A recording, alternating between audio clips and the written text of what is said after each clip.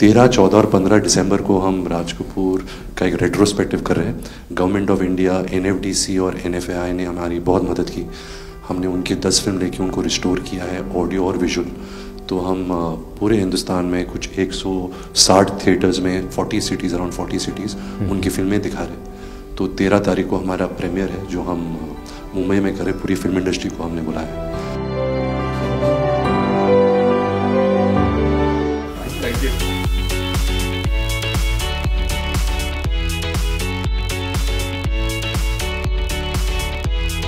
है ମୋଦିଙ୍କୁ ଭେଟିଲେ କପୁର ପରିବାର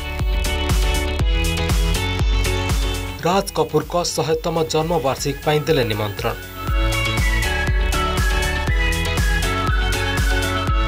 ଡିସେମ୍ବର ଚଉଦରେ ରାଜ କପୁରଙ୍କ ଶହେତମ ଜନ୍ମବାର୍ଷିକୀ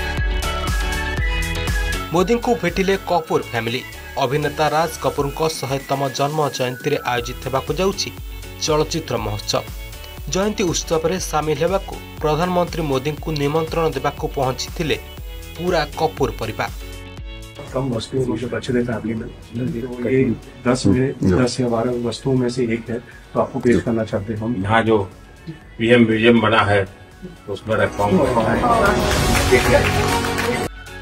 रणबीर कपूर आलिया भट्ट नीतू सिंह करीना कपूर सैफ अली खान करिश्मा कपूर ଓ ଅନ୍ୟ ପରିବାର ସଦସ୍ୟ ପିଏମ୍କୁ ଭେଟି କଲେ ନିମନ୍ତ୍ରଣ ରାଜ କପୁରଙ୍କ ଫିଲ୍ମ ଏବଂ ଜୀବନୀକୁ ନେଇ ଲମ୍ବା ସମୟ ଧରି ହୋଇଥିଲା ଆଲୋଚନା ରାଜ କପୁର ତାଙ୍କ ଚଳଚ୍ଚିତ୍ର ମାଧ୍ୟମରେ ଦେଶକୁ ପ୍ରେରଣାର ବାର୍ତ୍ତା ଦେଇଛନ୍ତି ଆଗାମୀ ଦିନରେ ମଧ୍ୟ ନୂଆ ପିଢ଼ି ରାଜ କପୁରଙ୍କ ଦ୍ୱାରା ନିର୍ମିତ ଚଳଚ୍ଚିତ୍ର ଦ୍ୱାରା ଅନୁପ୍ରାଣିତ ହେବେ ବୋଲି କହିଛନ୍ତି ପ୍ରଧାନମନ୍ତ୍ରୀ ମୋଦି और राज साहब का सौवा जन्मदिन यानी हिंदुस्तान की फ़िल्म इंडस्ट्री की स्वर्णिम यात्रा का वो कालखंड है जी। अब अब 1947 नीलकमल अब 2047 को हम जा रहे हैं।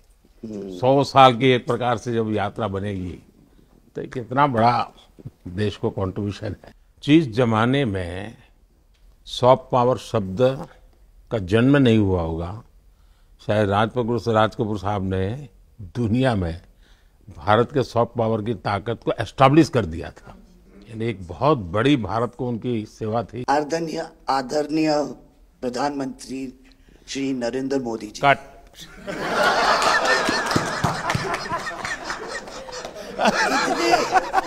इत, इतने कीमती वक्त में आपने सबको आज यहाँ निमंत्रित किया राज कपूर के बर्थडे सौवीं बर्थडे पे अवसर पे।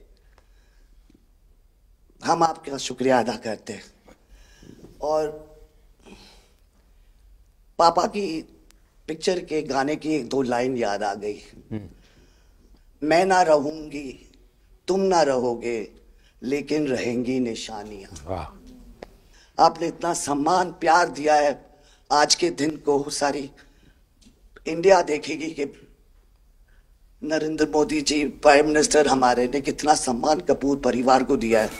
राज कपूर शहेतम जन्म बार्षिक चलचित्र महोत्सव आयोजन कर ପିଏମ୍ ମୋଦି ନିଶ୍ଚିତ ଭାବେ ଆସିବେ ବୋଲି ପରିବାର ସମସ୍ତ ସଦସ୍ୟ ଆଶା ପ୍ରକଟ କରିଛନ୍ତି ଡିସେମ୍ବର ଚଉଦରେ ଜନ୍ମବାର୍ଷିକୀ ପାଳନ କରିବାକୁ ପିଭିଆର୍ ଆଇନକ୍ସ ଲିମିଟେଡ୍ ଏବଂ ଫିଲ୍ମ ହେରିଟେଜ୍ ଫାଉଣ୍ଡେସନ୍ ଚଳଚ୍ଚିତ୍ର ମହୋତ୍ସବ ଆୟୋଜନ କରୁଛି ତେରରୁ ପନ୍ଦର ଡିସେମ୍ବର ମଧ୍ୟରେ ଚାଳିଶଟି ସହରରେ ଶହେ ଷାଠିଏଟି ପ୍ରେକ୍ଷାଳୟରେ ପ୍ରଦର୍ଶିତ ହେବ ରାଜ କପୁରଙ୍କ ଚଳଚ୍ଚିତ୍ର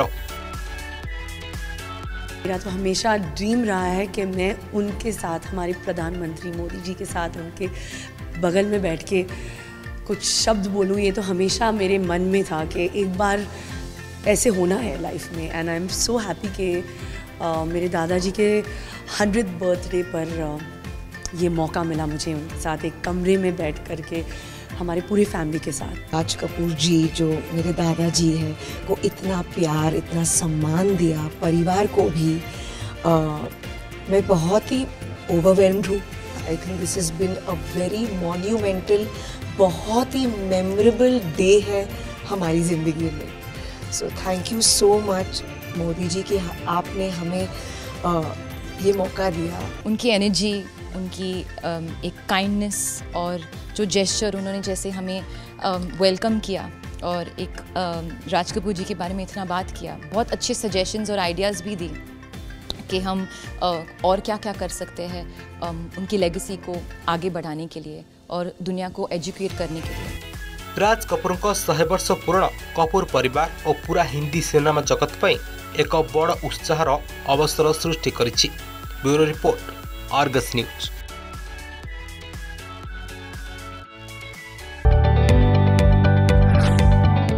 जदि आपण आम भिडी भल लगा तेब आम चेल्क लाइक सेयार और सब्सक्राइब करने को जमा भी बुलां नहीं।